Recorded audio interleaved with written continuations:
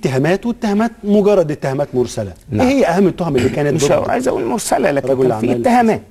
اتهامات. هم هم كأربع قضايا أساسية كان فيها اتهامات. الاتهام طبعا الذي أقام الدنيا وأقعدها ثم لم يقعدها هو الاتهام بتصدير الغاز لإسرائيل اللي كان بالضبط منسوب لحسين سالم إنه باعتباره كان رئيس آه، مجلس إدارة شركة الشرق البحر- الأبيض المتوسط. الغاز اللي هي كانت الوسيط في آه طبعاً. ما بين مصر وما بين. مصر وبين إسرائيل أو وزارة الكهرباء آه. وأن الغاز المصري بيع بسعر العقد يعني بسعر آه متدني للغاية وترتب عليه إضرار أو أضرار جسيمة بالمال العام المصري وتربح حسين سالم بطريقة غير مشروعة من ذلك واللي حصل إنه آه هذه القضية انتهت في النهاية إلى براءة. طبعا هو كان محكوم عليه غيابيا باعتباره ما كانش حاضر. الحكم الغيابي ده بيصدر على طول لمن لم يحضر المحاكمة لأن الحضور وجوبي في جنايات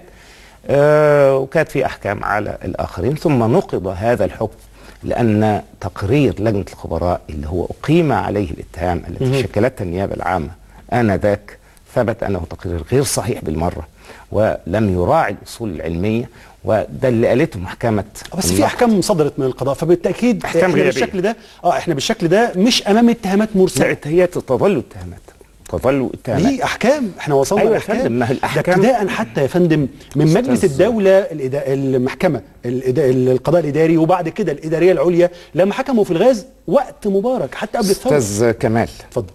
حينما تقضي محكمة النقد بإلغاء الحكم لأن التقرير الذي أسس عليه إلغاء تلك الأحكام الذي أسست عليه الاتهامات وأحيل المتهمون بناء ده قضاء وأعلى سلطة قضائية في الدولة أو أعلى محكمة في الدولة وأن تقرير لجنة الخبراء لا يساوي الحبر الذي كتب عليه.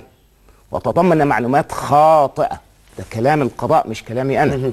وتأمر محكمة النقد أو تقول. هي بتحاكم حكم. بتحاكم حكم. وتقول كان يجب على محكمة الموضوع أن تلجأ إلى المتخصصين في هذا المجال لأن واضح أن اللجنة لم تكن متخصصة ووضعت حتى عايز أقول وضعت معلومات غير صحيحة.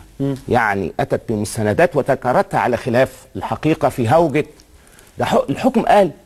صدر هذا الحكم الحكم الأخير بقى. الأحكام الأخيرة في وقت لم يكن أحد يجرؤ أن يقول عكس ما اتهم به حسين سالم.